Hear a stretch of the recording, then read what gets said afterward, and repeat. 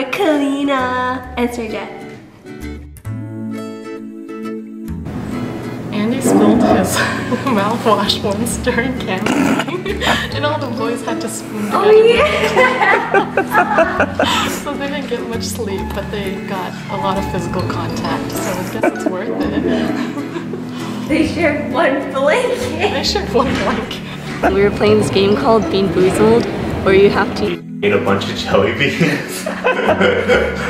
so there was like two separate flavors. One, like for example, one would be like mint and the other one would be baby diapers. One of them was either gonna be boogers or something else. I forgot the good flavor. And our culture night coordinator Andy ate one. He ate the boogers jelly bean and he said it tasted like jalapeno cheese.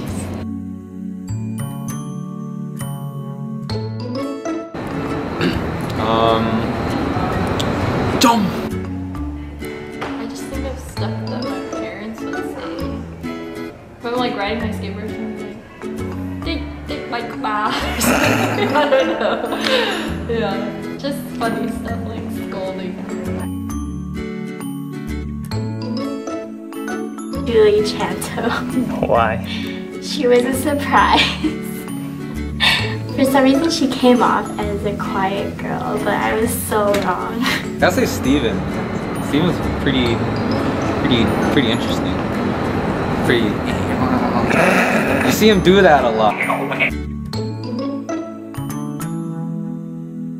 Up to Colina. President, of course, right? Big sister I think Kalina's a pretty good person to look up to. She's our president. She has a lot of stuff she's got to do, but she still keeps her calm. Colina. Colina, I look up to Colina, she's president.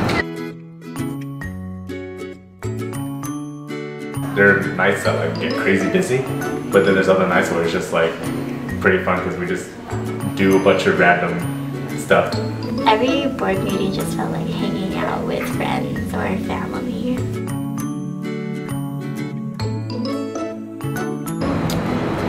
Jennifer. I don't know, dude. She's like, I'll be like, hey, she'd be like, like, okay.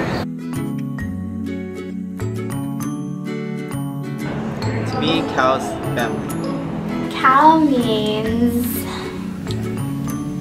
family. Well, Cal has grown from just an org where I was curious about the content to a really close-knit group of friends. And it's like a family now.